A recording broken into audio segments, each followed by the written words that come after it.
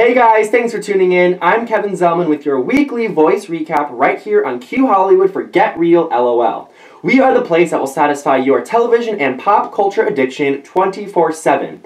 So make sure you guys follow us on Facebook and on Twitter. Hopefully you guys watched The Voice this week, and I think it was one of the best live playoffs that The Voice has seen in a very long time. Also, make sure you guys stay tuned later on in the show because we have a very special guest joining us. His uh, he was on Team Pharrell's uh, team. It is Mark Hood. He will be answering all of your questions and telling us about his experience on The Voice. So starting off the night, it was Team Adam's Shelby Brown, and she sang one of my favorite songs, You and I by Lady Gaga. She took a country spin on it, and it totally worked. Adam said that if she did well, he would buy her a giraffe, which she's apparently obsessed with, and Adam said that she definitely deserves a giraffe.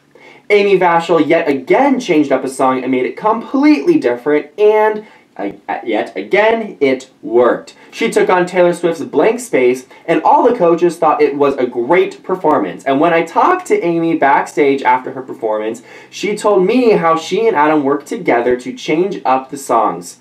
Take a look. I mean, it's a whole process. It definitely is a collaboration, and it happened in um, rehearsal where, like, I went through a few songs, and he just. What makes him such a good coach is that he will not settle for anything less than the best. Mm-hmm. And he's like, "This isn't right. This isn't right." And we finally we landed on this song, and you know, he whipped out the guitar, and we're like messing around and gave the guitar to me, and I'm like, "Okay, maybe." And then the band started, you know, jamming in. It was mm-hmm. it was a really special moment. Do you have anything else that you still have in your pocket that you haven't shown America yet that you can't wait to show them? Well, you know, I feel like, of course, I have many things in my pocket. um, but uh, the thing about this show is that, I mean, it's just making me grow in so many mm-hmm. ways that I think is I hope as a parent. I mean, I know I felt today like I grew, like even in the middle of the performance, I was like, whoa, this kind of feels like a new sensation. I kind of felt like I was able to just be a little more free than I've ever felt before. Jordan Smith made our jaws drop yet again. He took on a song that holds a very special meaning to him. He sang Jessie J's Who You Are, and he got so emotional once his performance ended. He told me why Adam thought this would be a great song choice for him.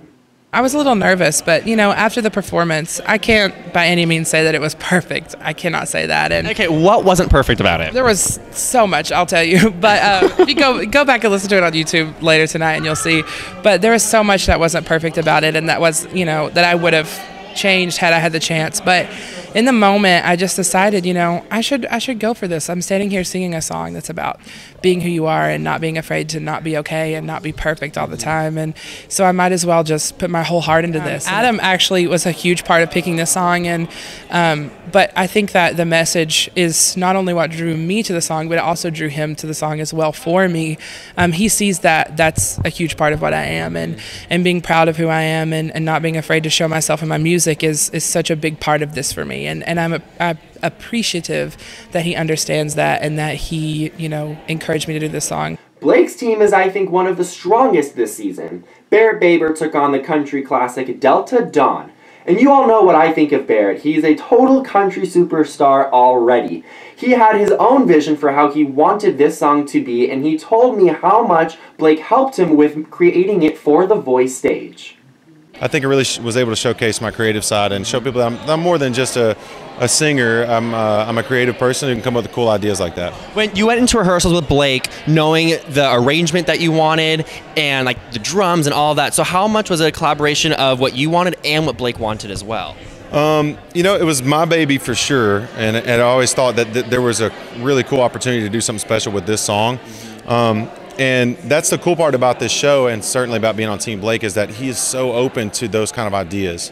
And um, and and really in that rehearsal just sort of sat back and, and said a lot of times I just want it to sound like Barrett wants it to sound.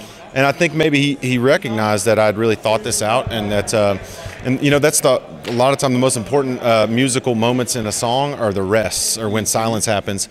And uh, and I think he really showcased that that that makes him an artist too. Like he like sometimes less is more. You got to know when just not to mess with something that's going to be cool. And I think he recognized that this was going to be cool and sort of just let me do my thing with the band. And and that was that was as helpful as uh, you know switching it up and, and making a bunch of notes himself. Emily Ann Roberts performed Why Not Me, and all the coaches loved her performance, and I think it's the best she sounded in, in the competition for sure. Blake even told her, this is a huge compliment, that she's going to be around for a very long time, not only in the competition, but in the country world in general. Next was Zach Seabaugh. He got some help from Blake about how to pick out one girl in the audience and sing to them. He actually got down on one knee and sang to a girl this last week, and he told me that when he does this, he gets really nervous. Take a look. It's, it's hard. Uh, when I was going down to that one moment when I got down on a knee, I was thinking right before I was going to it because the, the, the, the, pot of girls right there didn't know I was going to do it. And I, I, started walking over there and you just see their eyes get really, really big. and just choosing them, it's you know, I get down on knee and I basically just stick my hand out and whoever it is, it is. Um, but it's just funny to see how nervous they get. Mm-hmm. And it kind of makes me nervous. I'm like, am I, am I like a monster or something?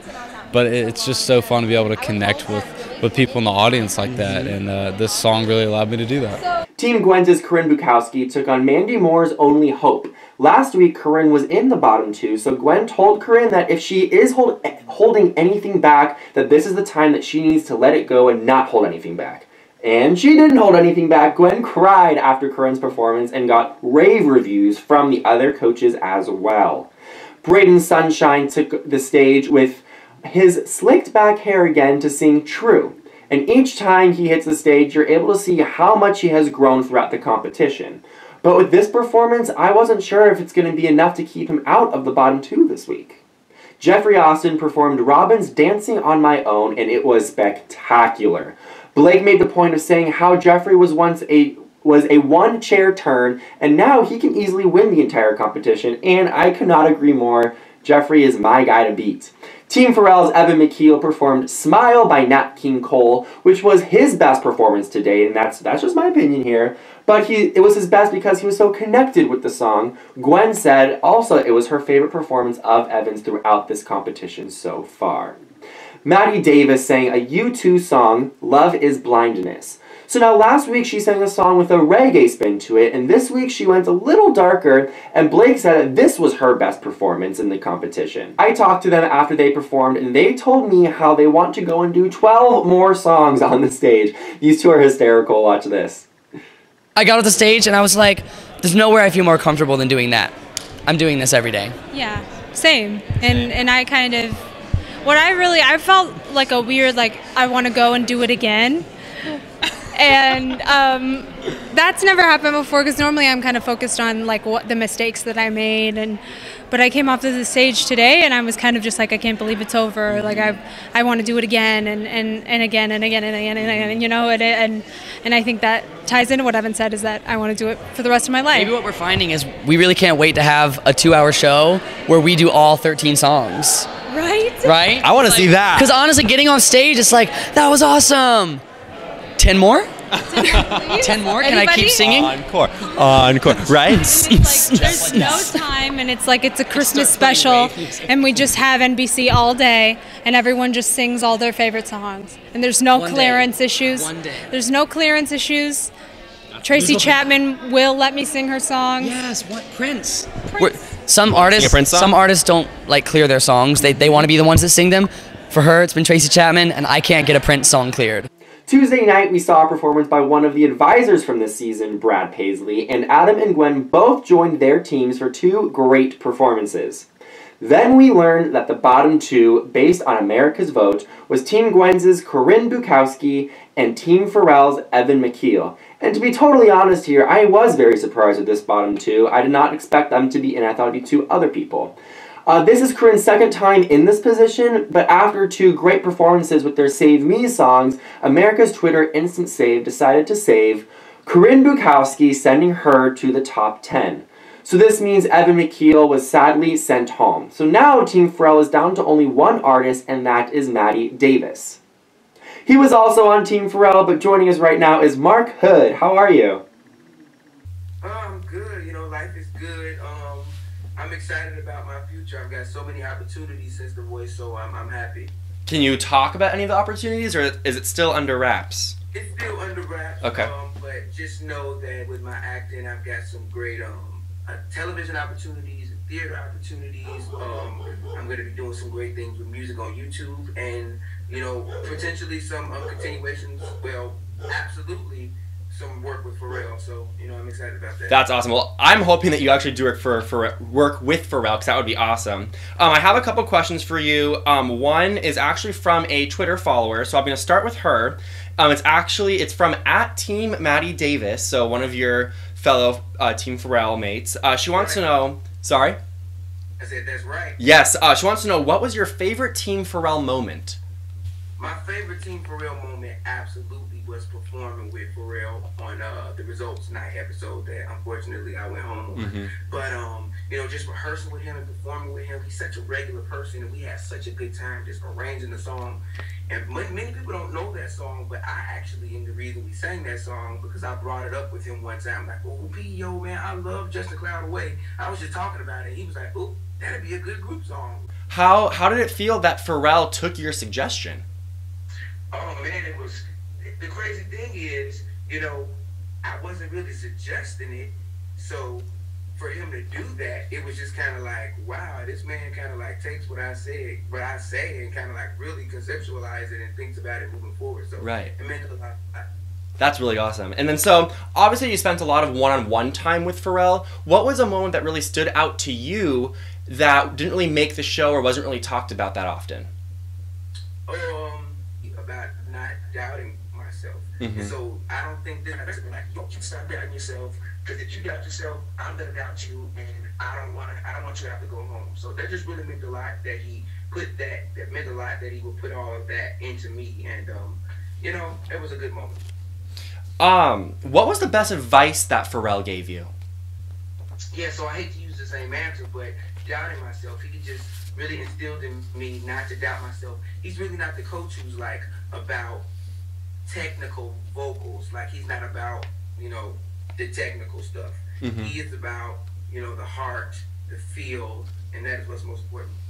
Uh, were you able to get any advice from all the other coaches? I know some contestants say like when you guys are backstage, you're able to talk to your the other coaches that's not your coach. What were they saying to you if you had that opportunity? Um, let me think. When I would always talk to Gwen, and Gwen would just always tell me, "I love you. You're one of my favorites." The same stuff that she would say on camera, but she would backstage sometimes she'd be like, Don't lose that spirit. Like your spirit is what's best about you. And I when I would see Gwen backstage, she would always tell me, Oh my God, I love you, you're one of my favorites. It's because of your heart and your spirit. Keep your heart and spirit and you know, I love, love to hear that. What was your favorite round of the competition between the blinds, battles, knockouts, and the lives what you were part of with it? What was your favorite? Um, battles, absolutely. Ain't No Mountain High Enough with Celeste was just, um, it was magical. We knew from the moment we rehearsed that it would be great. So the battle was absolutely my favorite round. That's awesome. And then. Missy Elliott cry. Exactly. I mean, how does that feel that you actually made Missy Elliott cry? I'm telling you, I, I still can't believe it. You know, Missy Elliott is like, she a G. Yeah, it's. I'm watching. I could only imagine how it felt uh, for you. So I Congratulations. Thank you so much for joining us today. I really appreciate you taking the time to come on the show. Thank you so much, Mark. Thank you for having me, Kevin Zelman. Thank you. We'll see you soon, hopefully. Yes. That's it for us today, so make sure you guys are following me on Twitter at Kevin Zelman and Cue Hollywood at Cue Hollywood on Twitter because I will be posting behind the scenes and backstage pictures from The Voice each week. And when you tweet me, make sure you guys are using hashtag voice recap to be a part of the conversation. We'll be right back here next week with special guests from Team Adam, Blaine Mitchell and Viktor Kiraly. And as we all and as always, we will have exclusive interviews with the top 10 artists from The Voice. Thank you for watching guys and see you next week.